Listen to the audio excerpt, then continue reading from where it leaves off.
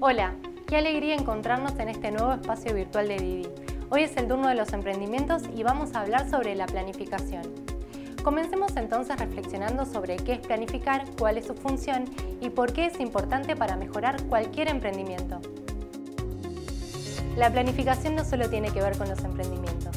Gran parte de las cosas que hacemos todos los días son planificadas, aunque no nos demos cuenta y las hagamos sin pensarlo o por costumbre. Pensemos en situaciones cotidianas. Planificamos las compras, la organización del hogar, un cumpleaños, ir a visitar a alguien o llegar a tiempo al trabajo. Entonces, planificamos cuando prevemos, decidimos y ordenamos la manera en que vamos a hacer algo. Planificar es pensar el futuro, decidir dónde queremos estar y definir los pasos para lograrlo en un tiempo determinado. Ahora veamos para qué nos sirve la planificación.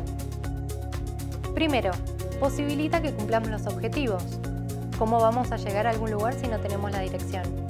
Definir objetivos orienta hacia dónde dirigimos los esfuerzos.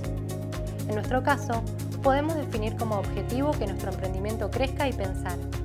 ¿Cuáles serían los siguientes tres o cuatro pasos para avanzar en esa dirección? Segundo, favorece usar mejor los recursos que tenemos, administrar el tiempo, el espacio o el dinero para poder alcanzar los resultados que queremos. Tercero, permite anticiparnos a los problemas y oportunidades. Anticiparse significa pensar y actuar ahora sobre algo que va a ocurrir después. Esto hace que el emprendimiento sea previsible. Por ejemplo, en ciertas fechas aumenta la venta de algunos productos, como el locro el 25 de mayo o los chocolates en Pascua. Eso repercute en nuestros emprendimientos, ya que si nos anticipamos, podemos producir y promocionar más. Ahora que hablamos de la importancia de la planificación, acompáñame a conocer cómo ponerlo en práctica con tu emprendimiento. Para comenzar a planificar debemos mirar hacia adentro, reflexionar qué estamos ofreciendo y a quiénes. Si tuviéramos que definirlo en una frase, ¿qué somos y qué hacemos? ¿Qué necesidades satisfacemos o qué problemas resolvemos a nuestros clientes? En este punto es también importante preguntarnos sobre el futuro. ¿Qué nos gustaría hacer? ¿De qué manera imaginamos el emprendimiento en un futuro ideal? ¿Alguna vez nos pusimos a pensar en esto? A continuación pensemos cuáles son las diferencias entre lo que hacemos y lo que ofrecen otros. ¿Qué cosas nos salen bien? Nuestras principales fortalezas, las que nos cuestan un poco más, nuestras debilidades y los rasgos que nos caracterizan.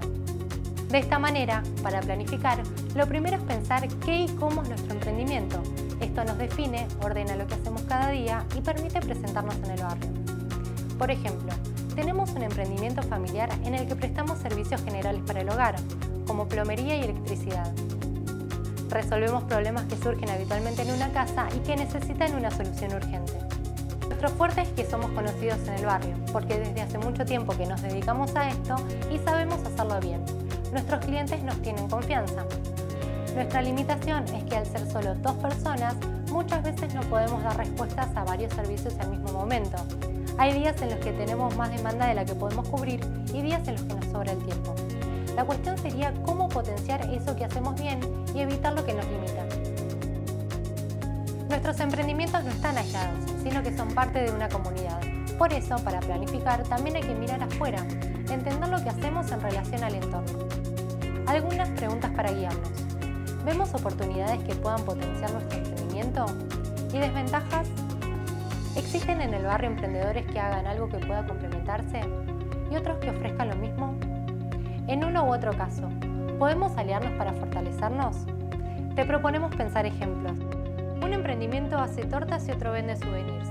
¿Sería posible asociarse y ofrecer servicios para cumpleaños o fiestas? Otro ejemplo. Si alguien hace lo mismo que nosotros, ¿podemos comprar juntos los insumos y bajar el costo? En resumen, la planificación también nos ayuda a entender dónde nos movemos y articulamos con otros actores en el territorio. Siempre va a haber imprevistos, pero planificando podemos bajar los riesgos y adaptarnos de la mejor manera. Entonces, la planificación nos permite mirar a futuro, definir qué queremos lograr y qué pasos daremos para llegar allá, anticipándonos a las oportunidades y a las dificultades. Para planificar, las principales decisiones que tenemos que tomar son las siguientes. Definir qué somos y qué queremos ser, identificar nuestras fortalezas y debilidades, hacia dónde queremos ir y qué pasos daremos para llegar allá y observar el entorno, identificar oportunidades, desventajas y posibilidades de articulación. La planificación nos permite acortar distancias entre lo que somos y lo que queremos ser. entre dónde estamos y dónde queremos estar, entre lo que ofrecemos y quiénes pueden necesitarlo. Planificar es construir el futuro, y este desafío es importante hacerlo con otras personas, porque ni los problemas ni sus soluciones son individuales. Ahora te invitamos a ver más de nuestros videos para seguir mejorando nuestros emprendimientos. Escribinos tus dudas o consultas en los comentarios de este video o al correo electrónico consultasdidi.gmail.com. Así podemos seguir acompañándote en este proceso.